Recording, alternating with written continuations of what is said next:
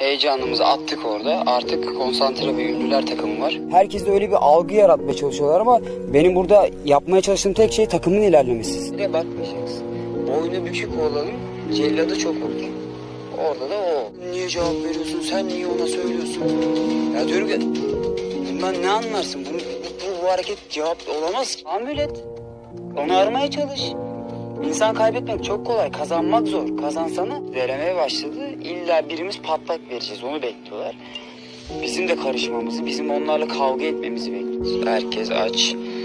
Ee, bakalım, olacak, güzel olacak ya. İnanıyorum ben. Verdi. Size yemin ederim 3 kaşık. Verdiğim tabak en az 20 kaşık. Çeyreği yetim. Eyvah ne yapacağım? Çok kötü bir hafta geçirdim. Kabus gibi bir hafta. Eyvah çok kötü. Kim atsın dediklerinde Batuhan algısına çevirmem gerekiyor. Batuhan atsın dedirtmem gerekiyor. Benim amacım buradaki bu. O birinciliğe bir gün layık da olacağım. İnşallah. Ya öyle olacaksın ya böyle olacaksın. Burada adamı adamı çarparım böyle olursa. ya var ya burada. İnanılmaz ya çok güzel.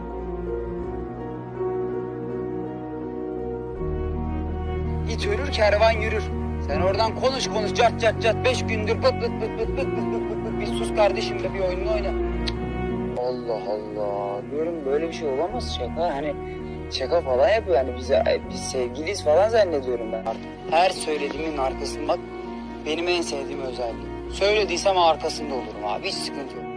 Ben bu yargı çekicini uzun zamandır yerde bırakmıştım. Ben bunu buradan bir aldım şuraya bir koydum. Nasıl bekliyorum şimdi gelene vuracağım. Oraya gitmiş diyor ki sen benimle dalga geçemezsin. Sen nesin ya diyor.